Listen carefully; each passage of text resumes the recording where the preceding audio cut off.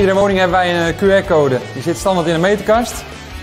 Hier kan je hem zien. En die kan een ondernemer kan die scannen. En dan kan hij precies zien of er nog restpunten op overstaande punten of schades eventueel zitten. Zodat we elke woning kunnen afwerken. En zij kunnen hem hier, eh, hier lezen.